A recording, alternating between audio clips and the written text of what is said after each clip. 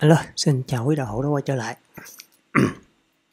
thì ở cái video trước á, ờ, mình có làm cái demo gọi là insert cái contact bằng cái ờ, GRBC gRPC và ờ, và ở phía backend thì mình nói chuyện với database bằng cái BigOM. Thì nếu như mà các bạn nào tinh ý một chút xíu á, các bạn sẽ thấy là ở cái demo trước lúc mà mình insert thành công á, nó có một cái gì đó nó bị thiếu thiếu What the hell? đó chính là cái cái response trả về. Này thí dụ lúc mà tôi response ờ, mà gọi là error thì nó trả về cái status code là trừ một nè. Nhưng mà lúc mà gọi là thành công á, lần đầu tiên mà tôi chạy thành công á thì nó không hề có cái gọi là cái status code. Nha, vậy thì cái vấn đề là tại sao nó là như vậy ha? Thì câu chuyện là như vậy khi mà à, trong cái object response của tôi nó vẫn có cái field gọi là status, status code nè. Đó. Nhưng mà các ông sẽ để ý là khi mà nó gen ra nó có uh, cái tag JSON status code nhưng mà nó kèm theo một cái setting gọi là admit empty. Thì cái thằng admit empty này có nghĩa là uh, nếu như mà nó không có giá trị hoặc có giá trị default á thì nó sẽ bỏ qua luôn. Nó sẽ không không trả về cho cho client, có nghĩa là coi như cái field đó nó bị mất luôn. Nó không trả về luôn. Hả? Thì việc này thì nó sẽ làm cho cho, ví dụ như những cái gói tin của mình á, mà có nhiều data, nó gọi là data default hoặc là nó không có data chẳng hạn, thì nó sẽ không trả cái cái cái field đó về luôn. Thì nó sẽ được làm nhẹ cái gói tin mà mình mình trao đổi giữa client với server nhưng mà trong trường hợp của mình thì vô tình nó bị xui một cái là mình định nghĩa status code của mình là không là thành công. Khác không là là thất bại. Nhưng mà vô tình cái số không nó gọi là default của cái cái biến cái cái kiểu dữ liệu in. Ừ, nó là default của kiểu dữ liệu in.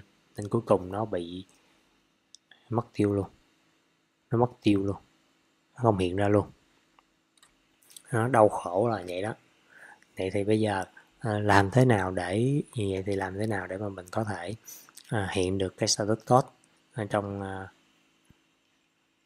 này? Thì à, thật ra thì để mà cách đơn giản nhất mà tôi sẽ tôi làm đây á, thì tôi sẽ định nghĩa là status code tôi là một là success. Khác một là à, khác một là là đều là fail hết. Và tôi sẽ né số không ra nghĩa là à, có thể là từ trừ 1 cho tới trừ n hoặc là từ 2, 3, 4, 5, 6, 7, 8, 9, 10 trở đi thì là fail. À, còn số 1 là phải là thành công. Thì như vậy thì chắc chắn là trong cái cái uh, cái response đó, lúc nào nó cũng sẽ có gọi là cái, nó có cái data à, status code này. Ha đó là cách đơn giản nhất có nghĩa là bạn né những cái giá trị default của cái kiểu dữ liệu đó ra. Ừ, thì nó sẽ là nó sẽ à, xuất hiện cho bạn. Tại vì à, thằng gRPC nó mặc định nó khi mà nó gen ra một cái cái uh, struct thì nó luôn luôn nó đi kèm với cái gọi là update empty. Ha. cái này là mình phải cẩn thận mình phải né những cái giá trị default ra nha. Đó là một cái lưu ý. Wow. rồi vậy thì uh, tôi đã sửa lại là nếu như thành công thì tôi sẽ trả về status một. Rồi bây giờ tôi chạy lại cái server của tôi ha. Rồi chạy lại server. Và client thì để test trường hợp thành công thì tôi phải bắt buộc là tôi phải thay đổi cái key này đi. À, nãy là 0978 này giờ 0981 ha.